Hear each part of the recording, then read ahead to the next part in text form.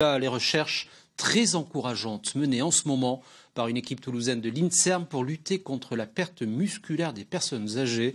Une protéine s'avère très prometteuse. Les explications de Luc Truffert et Rémi Carayo.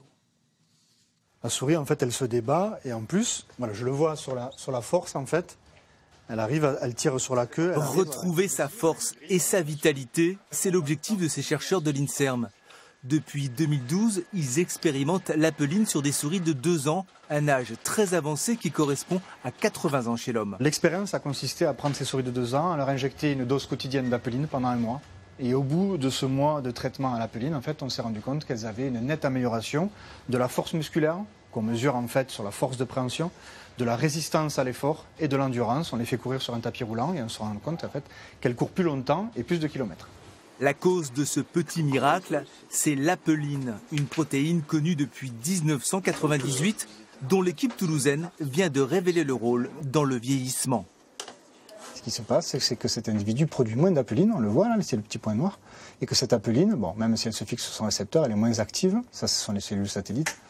Quand on en rajoute, c'est la rouge, on se rend compte qu'on récupère de l'atrophicité musculaire. On n'est pas dans, effectivement dans une cure de, jouvence, mais on est dans un, on arrive à reculer finalement la perte musculaire liée à l'âge. Et la perte musculaire est l'un des principaux problèmes dépistés dans ce service de consultation. Le but de la journée, vous le savez, c'est qu'on arrive à comprendre pourquoi vous êtes fragile. Le gérontopole du CHU a participé aux recherches de l'INSERM en proposant son expertise. Les médecins placent de grands espoirs dans la peline.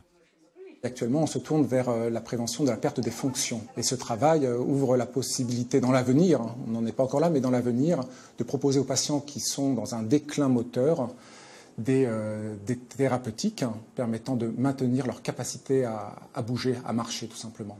Pas d'essai thérapeutique sur l'homme avant 5 ans, une expérimentation attendue. Un senior sur trois souffre de perte musculaire importante.